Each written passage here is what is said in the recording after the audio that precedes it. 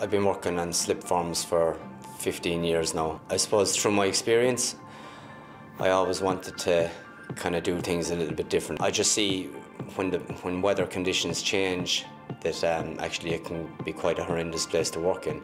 And a lot of the systems out there really are only covered with a Monarflex what I wanted, which was a two metre high perimeter on all platforms. And it's a confined space, you know, you need to have that extra area. On other systems, the top deck is basically a load out yard, whereas our system, we've kept it um, 1.8 metres wide which basically gives us 900 walkway and gives us 900 for storage on the top deck and on the working deck it gives us a clear 900 walkway all round away from the work face. It gave the guys less to, to actually get aggravated about and they could actually get on with their work. One of the key advantages of this system is the pre-installed trailing deck. While we're building the system from scratch, we can install the trailing platform. So as we slide, basically the whole system picks up the trailing deck.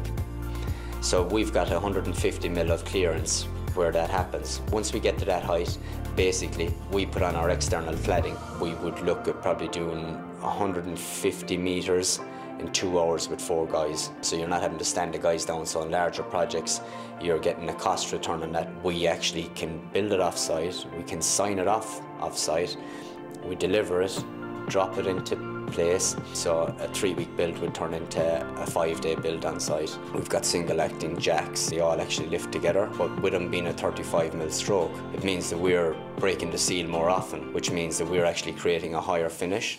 All our guys actually drive the system they're guys that know exactly how the process works. When things go wrong, you need the guys that have the experience. They keep ahead of things, they pre-plan to make sure that we don't have these issues. That way then you can de-risk these large-scale projects.